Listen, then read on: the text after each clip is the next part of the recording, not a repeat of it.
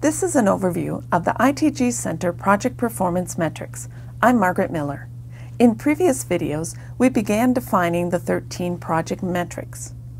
We learned that there are four core metrics that are pulled directly from data in ITG Center. The remaining nine metrics are calculated from these core metrics. The four core metrics are actuals, also known as burn, plan to date, budget, estimated time to complete, ETC. The seven metrics that provide information about the current state of the project are earn-burn ratio, earned, budget variance, percent complete, plan percent complete, actual minus plan to date, and earn minus plan to date, the schedule variance. In this video, we will focus on the two metrics that forecast the future state of a project at its conclusion.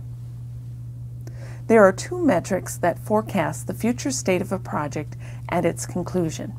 They are estimate at completion, EAC, variance at completion, VAC. In addition, the estimated time to complete, ETC, is also very useful. Let's look at a definition for each of these metrics. Estimate at completion, EAC. The estimate at completion shows what the total effort will look like for a given activity at the end of the project. It's the estimated time spent in days at completion. The calculation is estimate at completion equals actuals plus estimated time to complete, ETC. It is important to note that this metric will only be valuable if ETCs are being updated throughout the project to accurately represent the remaining effort for tasks in the work plan. If the value for EAC is equal to the value for budget, it indicates that the project is currently on track and it is expected that the project will be completed as budgeted. If the value is less than budget, it indicates by the end of the project it is expected you will be under budget. If the value is more than budget, it indicates by the end of the project it is expected you will be over budget. Variance at completion, VAC. Variance at completion shows the difference between the total projected effort and what was budgeted for a given activity. It is a prediction of how far ahead or behind we're going to come in at the end of the project.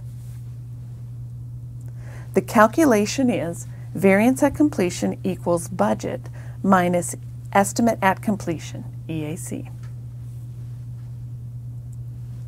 A value of zero means that currently it is projected at the end of the project you will have spent the exact number of days budgeted for an activity. A positive number indicates that currently it is projected at the end of the project you will have spent less than the number of days budgeted for an activity.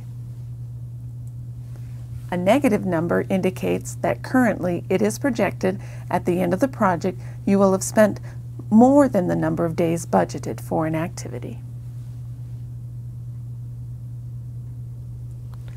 Estimated time to complete, ETC. As we have seen in an earlier video, the estimated time to complete is the estimate of remaining days needed to complete an activity. It is one of the core metrics that is pulled directly from approved timesheets in ITG Center. As I pointed out in a previous video, timesheets capture the estimated remaining effort as it is updated by project participants and reviewed by their managers. Once the timesheet is approved, the estimated remaining effort is used to update the estimated time to complete ETC data that is reported in the metrics portlet. The one value, estimated remaining effort, represents the current value that is reported in timesheets. The other value, estimated time to complete, represents a point in time value and it relates to the metrics as of time period that is selected in the portlet preferences. Another important thing to keep in mind is that the accuracy and usefulness of the metrics are very dependent on the quality of this core metric. ETC is used in calculating several of the metrics, including earn-burn ratio, earned, budget variance, estimate at completion, percent complete, variance at completion, and earn minus plan to date. Let's see an example of these metrics in the DREAM Institute Tracking App project. Let's revisit the DREAM Institute Tracking App project three months into the project and let's take a look again at the design activity. We saw previously that actuals and plan to date still looked good, but that some of the other metrics, such as the earn burn ratio, is showing some variance. If we look at the estimate at completion, EAC, which is the sum of actuals and ETC, and is a prediction of total effort at the project's completion, we see that for the DREAM Institute Tracking App project, that we are predicting that the project will complete over budget.